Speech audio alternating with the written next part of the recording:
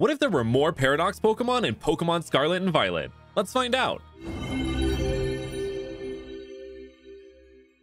Hey everyone, Brandon here. Since our last video on this subject, the Fakemon community has exploded with so many more Paradox Pokemon. There are a ton that I want to talk about today, but before we get into it, make sure to hit that like button, subscribe, and hit that notification bell to help support this channel and keep up to date with future videos.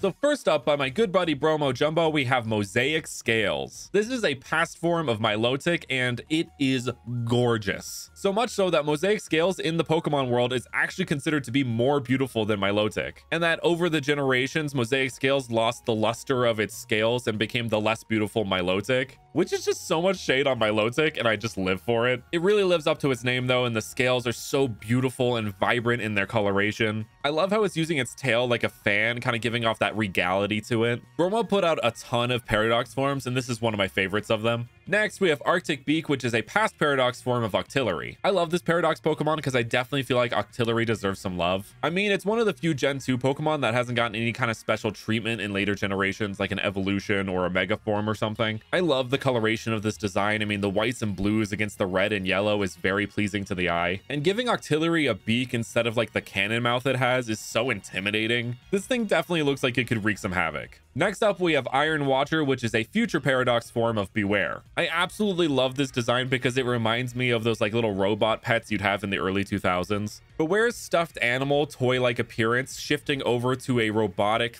pet toy appearance just works so well. You can see how all of its body parts are more rounded, more friend shaped, kind of just luring you into a false sense of security before it makes you disappear mysteriously without a trace. Next up, we have Iron Shroud, which is a future paradox form of Dragapult. This is giving me all the Iron Man and actually Iron Heart vibes as well. I'm not sure if those were inspirations, but they definitely feel like they could be. Dragapult is already based on a kind of fighter plane, so this design works really well into a future paradox form. A great detail about this design is the Dreepy and Drakloak that were on Dragapult have turned into these kind of drones, which makes sense. It's like a big robot controlling smaller robots. Very hive mind kind of thing going on there. Next up, we have another past paradox form, and this time it is for Rhyhorn or Rhyperior. I'm not sure. Could be either. Could be both. This design looks like it could fit into the Elden Ring universe and no one would ask any questions. Like, yeah, a half man, half rhino with a giant sword horn totally makes sense for Elden Ring. It looks like it's wearing a helmet and has like a little chest piece here too, so it kind of plays into a knight vibe. Next up, we have another future paradox form, and this time it is for Chandelure, and it is Iron Beacon. The design is just gorgeous, and the inspiration makes total sense. Like, of course, there would be a man-made version of a chandelier Pokemon that turns into a light bulb. We literally did that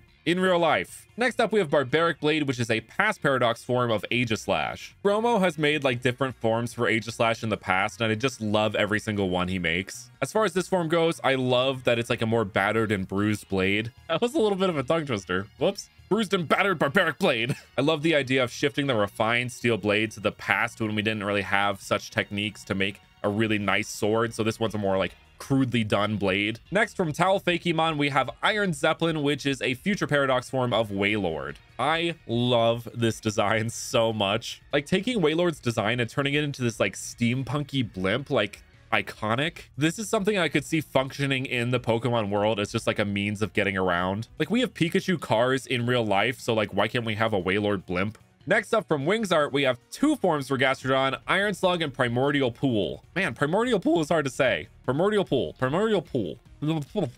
You know when you say a word enough and it just like starts to sound like not a word? That's what I'm dealing with right now. Anyway, these designs, I really like how their typings mirror each other where Iron Slug has the water and psychic, the Primordial Pool has the fire and ground, each keeping a part of Gastrodon's typing. Iron Slug is just like so friend-shaped and then primordial pool is this big beastly monster the juxtaposition of these two designs right next to each other is marvelous it was definitely a good idea to put these both in one post i love how iron slug has this like water flowing through it but it's also like the glowy bits of the future paradox forms and primordial pool is just like super spiky and I don't know, I just love that. Next up, we have another pair of paradox forms for Genesect by Goompy. And can I just say the presentation here is just immaculate. putting it into this magazine, which I'm pretty sure is a reference to the Dubious magazine from the Roaring Moon Dex entry. It's just top tier. Anyway, here we have Iron Pilot, which is a steel electric type. I assume this is just a Genesect that continued to be experimented on. You can see it has drives that change its appearance just like Genesect, but this one's a little bit more deliberate. On top of changing its appearance, it changes its type as well. We got regional forms that had multiple forms with Tauros, so this definitely has some merit to it, like a Paradox form that also has multiple forms, especially given that Genesect is already a Pokemon that has those drives that change its appearance anyway. This is just taking it that step further. It is incredibly clever, and I love the mech vibes. And now we have the past paradox form for Genesect, which is called Fatal Sting. I love the coloration here. The pastels that Goompy used are just so pretty. I also love the Galar representation here, like an interview with Karalis, Geoglyphs, and Galar. This one doesn't have multiple forms like the future paradox form, but that makes sense considering it's just supposed to be like a normal actual bug, not some kind of science experiment. The concept of what Genesect looked like before the experiment has been a mystery to Pokemon fans for a long time, and I think this fulfills that very well. Also, its horn looks like a little paintbrush, and I love that. Next, from Macks Fakemon, we have Iron Fission, which is a future paradox form of Torkoal. This design is so good, and the shading on it is just perfection. I love how this looks like some kind of vague machine, but then you look closer at it and you're like, oh yeah, that's Torkoal. Like its head looks like a little handle or something, like you'd pull down to start the machine or something. I don't know, maybe that's just me. Also, its eyes look like flathead screws, which I'm not sure if that was intentional, but works really well. One of the reasons I love the Fakemon community is that we can give love to these kind of underrepresented mons like Torkoal. Torkoal's been kind of a fan favorite to get some more love. I've seen a lot of evolutions of it or like pre-evolutions to it. And this is a great addition to this bunch. Next up by Nyula Draws, we have a past paradox form of Dragonite called Legend Fist. When I say I love this design, I love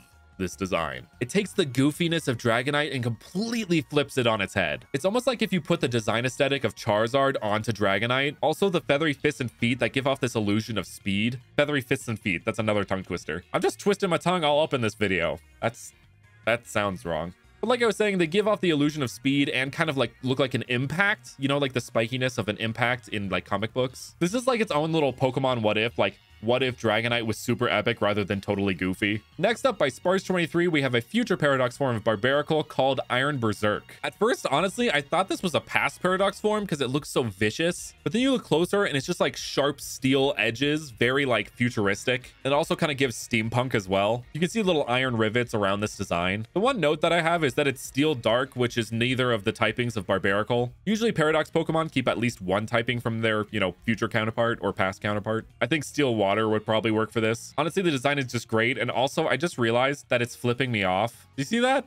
The middle finger is straight up. Okay, Sparts, I see how it is. Jeez, I say you should change the type and then your design's suddenly flipping me off. What the heck? Next up by Eleris and more, we have a future paradox form of Chansey called Iron Nurse. This one makes way too much sense. It just it just makes way too much sense. Like a little incubator Chansey Pokemon. Of course, naturally over time, like daycares and Pokemon centers would develop this kind of technology to help incubate Pokemon eggs, but make it a familiar shape like the Chansey that they're so used to using in the Pokemon centers already. If all future Paradox Pokemon didn't have the ability Quark Drive, I would imagine this would have Flame Body. Also, I just realized it incorporates a little bit of Happiny with its little like hair thing here. You guys know I couldn't do another one of these videos without a Paradox Charizard, right? This one's called Burning Worm and it's by Bulbby Boi. And this one is probably the most unique I've seen thus far. Giving Charizard an Eastern Dragon form is just like perfection. It also incorporates aspects of Mega Charizard X, which I love. This form is a slam dunk on all accounts. Bulbby Boi absolutely killed it, and it is one of the most epic designs I've seen out of this whole trend. But let's give some other Kanto starters some love. Here we have Iron Plant by Elesteva076, and it is a future paradox form of Venusaur. I love this concept. Taking the flowers from Venusaur and turning them into solar panels, which both harness the power of the sun, is just brilliant and makes complete sense lore-wise. Like, of course, they would make this machine in the form of a Pokemon that could absorb solar energy that they can then use in what I assume are their futuristic electric filled cities. The lore potential of this mon is just astronomical and I love that. Also, the design is just sick. Like, Look how freaking epic this is. And on the other end of the spectrum, we have the other Kanto starter, Blastoise, with a past paradox form, which is Slashing Shell. I love that this is a water dragon type. Usually Charizard is the one that gets all the dragon type love, which was, you know, made apparent by Burning Worm. But giving Blastoise that same kind of love, I would love to see the same thing on Venusaur too. Get a grass dragon type Venusaur. That would be awesome. Regardless, I love the design of the shell. It almost feels like Cloyster. Like Blastoise in the past kind of had to do a Slowbro thing where they took Cloyster's shell and used it as their own. But it's also giving having hydrothermal vents like at the seafloor. Like this Pokemon's signature move could be Scald. It has like this heat source in its back. Kind of a play on how dragons breathe fire, but instead this one's breathing burning hot water. I know I'm kind of making up a bunch of lore for this mon that maybe wasn't intended, but Honestly, when I see this design, it just fills my head with ideas, which it's my favorite thing when a fake mon can do that. And those are some more Paradox Pokemon. So thank you guys so much for watching, and I will see you guys next time.